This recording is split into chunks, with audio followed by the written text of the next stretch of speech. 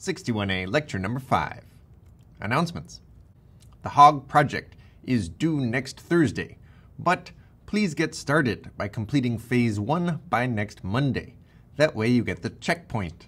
If you miss the checkpoint, it's only one point, but you should really get it because that means you're on track to finish the whole project by next Thursday. Or better yet, finish by next Wednesday for an early submission bonus point. I recommend that everybody try to get to that point. If you don't get it, no big deal. You'll still turn in the project on time. But sometimes projects take longer to solve than you think. Please don't look up solutions that you find on the internet when trying to solve your project. Instead, try to solve the project yourself.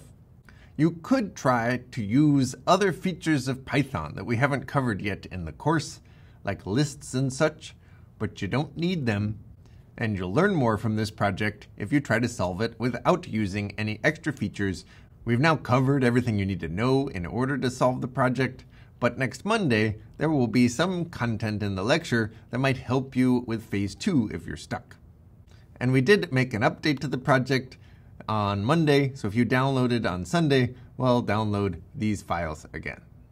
Homework 2 will be posted tonight. It's quite short. It's due next Thursday as well. So why not finish the project on Wednesday so that you can work on the homework on Thursday?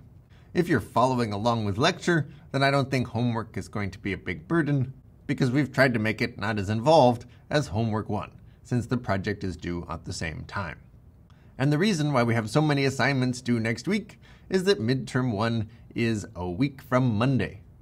It will cover all of the material up to and including next Monday.